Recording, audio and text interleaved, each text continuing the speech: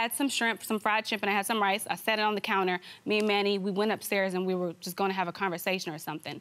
His parents came down home from church. So, of course, you know, when they come down, we go talk to them and, you know, socialize a little bit. So I'm, you know, I'm pregnant. I'm looking, okay, we're gonna go talk. I'm ready to go eat this, this shrimp. I get downstairs. I left it on the counter. they threw it out? His threw it in the trash. So I'm looking like, okay, well, is it in the fridge? Where's that? So his starts yelling at him. And I'm like, hold up, hold up. You didn't pay for that. And I'm hungry and I'm pregnant and you just threw my shrimp away? Okay. So